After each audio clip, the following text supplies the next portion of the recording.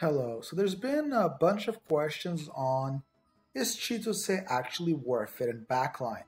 So the first thing you need to know about that is Chitose is not going to be worth it in backline if it's not mono light. I just want to put that out there before you start watching the entire video and then realize that later on. So position wise, I would put her center back and not on either of the sides as she's not built for damage resistance. Uh, none of her skills are going to allow her to have that. And she has some really nice penetration skills. So you actually prefer that if she's going to take damage, is going to be penetrating. Or trying to steal irrelevantly, they're both great. Now, one of the things you're going to realize is right now, she possesses no stones whatsoever. Her skills are not set up. The only one is decreased damage, and she has over a thousand reflex. Sadly, the amount of reflex will go back a little bit down when they hit level 60, but I just want to point out she has a huge amount of reflex by base. So this is something that people really want to look at.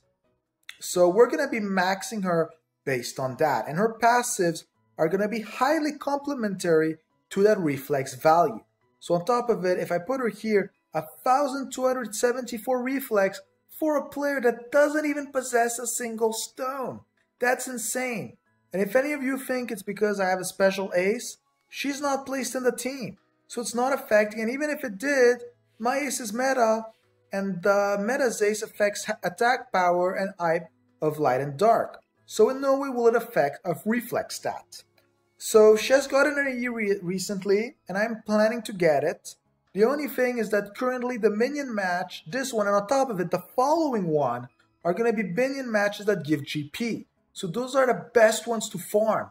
So since I'm usually going to do a very nice stream where I'm going to spend a lot of GP and a lot of gold, I've accumulated over 6,000 gold already. There's going to be something really nice later on in the in a stream.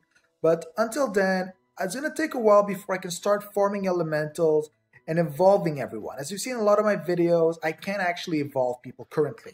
So yes, I, I do have the rainbows. That's not the problem.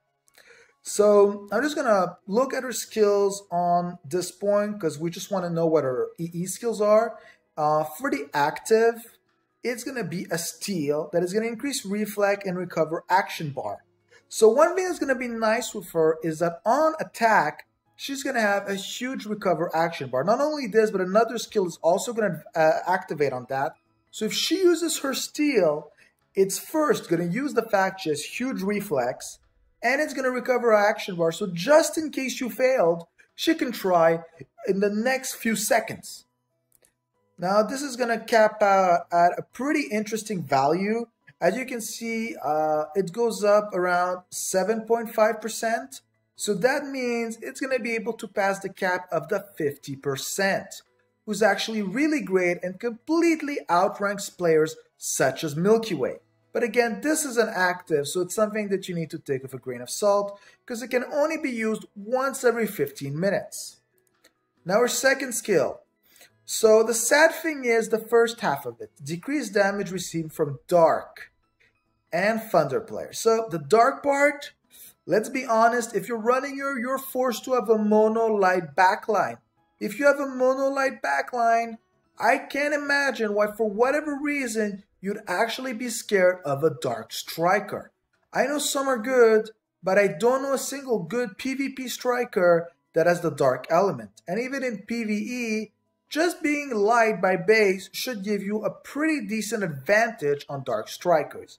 Now the Thunder part on the opposite is really great for PvP and PvE because in PvP there's going to be that good old Leviator or the Mono Thunder teams and in PvE, well, they're going to be throwing at some point something Thunder. You know it's going to happen. So at least like this, there's a low chance it's going to one-hit you. Well, I don't think it's going to one-hit you depending on how you build your line, but it's still going to hit you hard. Plus, when you're trying to penetrate or steal back from these guys, it can never hurt to be more resistant. Now, her third skill, who has been added in one of the recent patches, who has caused a lot of players to be angry, some less angry. I'm going to say it depends what color of light backline you're running. So this is a mono light line buff, who's going to increase action speed and reflex by 30%. So this is a really good value combined, especially with her active um, and her base reflex. And on top of it, it's just an overall good back value because giving some action speed to the back is something that a lot of time you need to sacrifice stone slots for.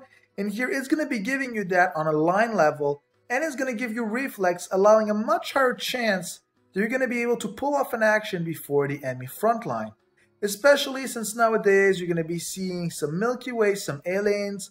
So now speed has become something a little bit more important to either side of the line. And of course the reflex, well, just like this, you can steal. So she complements, of course, anyone who needs to act fast and anyone who tries to have high reflex values. But of course, she has high reflex value, so she can be your dedicated stealer. There's nothing wrong with that. And our last skill that is going to be directly linked to her first skill is uh, Parasensory 2. It's the name is maybe not the most important thing here, but what's nice to know is recover action bar in spirit um, by 8%. So 8% at level 1 usually means that at level 5 it's going to be 40%. So the spirit part is a nice bonus, meaning that whenever she's going to attack, it's basically going to pay off her active directly. So it's like she has a free active. And the second thing is, let's start doing the math. This makes a 40%, who's really great. Then here we got a base 30 and we got a 7.5 increase that's going to happen five times who makes around 37.5. So if you're starting to add this up, it's going to basically mean she's going to be acting two times whenever she, she uses her active. So it's extremely high. It's basically above the level of 100% action bar. So on two skills, she's basically created her own super play. So this is why maxing out her active and maxing out her last passive can be very powerful. Now, sadly, that is not the ideal build for a backline player. So you do want her to use that active as it's just great. So you're going to be sadly sacrificing some point in Parasensory 2. So since you're going to be sacrificing some points, she's going to be losing um, around 15% of that action bar. So if we if we look at it once again on a mathematical level, that means it's going to be 30% plus 7.5 times 5 was another 37%. So she's at 67.5. And here we're only going to do it three times. So it's going to be plus another 24. So 67.5. Um, wait one sec. I'm just doing the math as we speak. 67.5 um, plus, wait, now now I actually got mixed up. Who's, who's kind of sad. Uh, 8, 16, 24 plus 24, giving you a 91.5 action bar recovery. Now, that is a huge value, but a lot of us are going to say, well, it's very nice, but you've just broken the idea of super play, who I really liked. So for all of you guys, I'm going to tell you there is going to be a solution for that. We're going to look at her stones. Because I'm sure a lot of us know that as a light player, there's something called Metatron's Will, and there's also something called Thunder Penetrate. There's also another bunch of stones who can complement that, but those are the two most common ones. Um, now, to look at her on a stone level, um, you're going to see that she's going to have a very nice stone setup. So the very cool part about it is you can decide which kind of reflex stone you prefer. Unlike most builds when you're going to be limited to only one of those two colors. So first of all, she is a stealer. She has high reflex. Whatever happens, she needs two reflex stones. That is not an option. You need that reflex. So you know the prime slot is going to be either light reflex depending on your spirit generation I'm personally going to say it's not worth wasting points on that, and I'm going to put a Nandor Reflex in there. Um, now for the stones, there's more than one build, but irrelevant of the build, one of these two is going to be a Reflex, and this is going to be some sort of speed related stone. So when we're looking at this, I'm going to go to the stones to explain this on a better level, but I just want to point out again that our colors are light, Andor, and Wyrmwind, and then one prime slot. So when we go to the colors, so the reason why I was saying that maybe it makes more sense to get the Andor is because that one is critical resistance, who in my eyes is better than Spirit. But that is because she generates more spirits than the passive of this stone is ever going to generate. So she's already generating it. If you need some high actives in your team, you may put that one in the prime slot instead of this one, but this one just is a little bit more of a reassurance that you're not going to be KO'd when trying to steal. So again, you're going to be putting two reflex. So now stone-wise, you have the Wyrmwind slot. So the Wyrmwind slot has basically two options. Um, I would say you could be pointing at this one. Action speed, critical resistance is pretty nice. Or you could be looking at a steal. Like this, it, it recovers the, um, of the inflicted damage of a steal. It's going to be healing you. And, well, just going to higher your chance of getting the ball. But if you want to look at it on a unique stone, the only one ever worth anything is going to be this one. Increasing your action speed even more and recovering action bar even more really maxing out and making something that is going to be ridiculously powerful and able to steal constantly. So this is one of the builds that could be very nice. It would be throwing an Ancient Stormer, uh, throwing um, two Andor Stones, and putting in the light category, this is where there's a little bit more of a question. Um, I would say mainly what could be really nice would be either a Taro Stone, because that's going to be able to give her a little bit of a heal. But if you don't like that, you can also go for a Dribble Stone. Um, it's maybe less recommended. I would more go for the Taro Stone.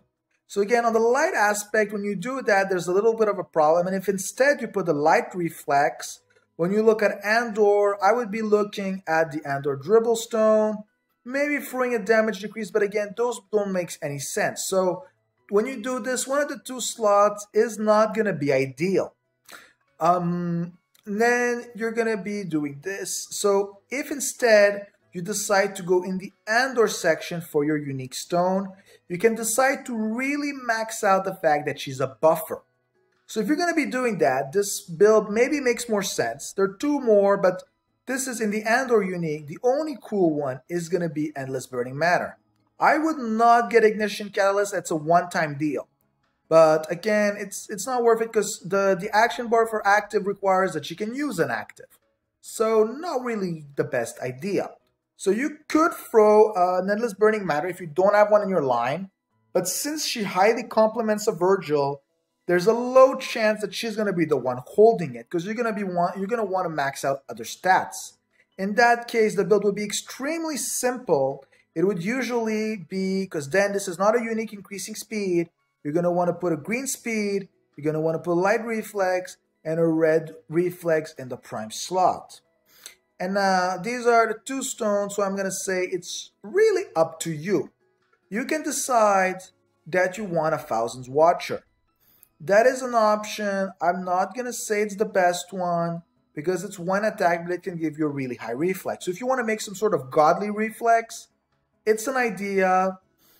I wouldn't say it's the best. On passive, you can get that extra reflex. Now, the viable version would be throwing a Metatron's Will. Now, if for any reason you have something that can buff critical damage or anything else, you could throw this in. Now, I would say that this is the, um, the best build for her. Because if you throw a Metatron's Will, this is the one with the highest action bar recovery uh, on attack is going to increase crit rate. Giving her damage was not something that she has by base, so it's going to really complement on that aspect. You're going to throw an Andor Reflex, so you're just going to have the other two Andor Reflex, so really high critical resistance. And then if you want, and again, this is again up to you, you can either go for a green speed, but now that you got that insane crit, you could even go for a crit damage. So I would say throwing a Metatron's Will is the best stone for her. but this is again a personal choice and it's based on your back line. So I'm just gonna go back to her to show her chains. So chain wise, I would say she does have some really great chains. Uh, the sad part about her affection chain is that it's linked to a rival who hasn't been out for quite a while. So if you don't have it, it's going to be a bit frustrating because I know Sammy is very popular. She's a good center mid if you don't have a legend. And even if you do, it still doesn't change. She can be a pretty good player in the mid line. Um, then you have the best one. Of course, it does require owning him, is having a Duke. So we all know that if you have Duke, he will be on the team. So it's just good to have her there. Uh, her Nemesis chain is more something for PvP. I mean PvE. You're not going to find this in PvP. I might be one of the rare players who even uses Lilith in PvP. So the chances of meeting it are incredibly low. And this chain is basically a joke. It's a friendship chain. No one's above 4 star. I'm not even sure if they're above 3 star. So I don't remember exactly all of the Wyrmwind free 4 stars. Again, no one does. It's not relevant. So skin-wise, I personally find Ri went a little bit too far, but it's going on uh, kind of the Nekomimi idea that they were introducing in the second. She has no special skins. So now, what kind of line do you want with her? So again, as I pointed out, was extremely important to note is that this buff is only gonna affect light players within position. So what you need for this is a mono light backline. And when we mean mono light backline, the goalkeeper automatically becomes Isilla. And on the right side, you're gonna automatically find a Virgil. So it's basically gonna be something like Virgil, Ysilla, Chitose, uh, and here you're going to put some other buffer. Uh, you can try a four-man line. That's pretty interesting with her, especially if it's light. Um, another bunch of good players you can throw with her are going to be, for example, um, uh, da, da, da, who I am trying to look for just to point him out because I don't have him in the list. Uh, yes, and that's when you try to find him and you can't. Here, for example, Mikael could be put in the, the, the right back. Again, that just means put Virgil in center or somewhere else. Um, Anael, if you really feel like it, I don't think she's the best idea for a backline, but if for some reason you feel like it, uh, a new EE has been made that could work really well in the backline, being Mario. So something like Mariel, say Virgil, and a Michael uh, around there could be really great as a backline. Uh, there are a few backline players, but I would say those are the ones you're going to be mostly looking at when you're running this team. So I hope this has helped people understand why Chitose is actually pretty nice and has that insane action bar who no one ever really seems to be mentioning, outranking by far Milky Way um, and also an insane base reflex. So I hope that this has helped people see the value of Chitose. Um, as she's a new player, a lot of people are getting her. They're not seeing any guides on her, and they're automatically dissing her as a player who's just not worth it because you don't see her. So again, Monolight, great reflex, great action bar. If well set up, can be extremely powerful. Um, I hope this answers any question you have. If you have any more, just write me down a comment, uh, message me. I'm also on the forums. And if you have any requests, just tell me and I'll make a short video on this. On average, around 20 minutes. Have a good day.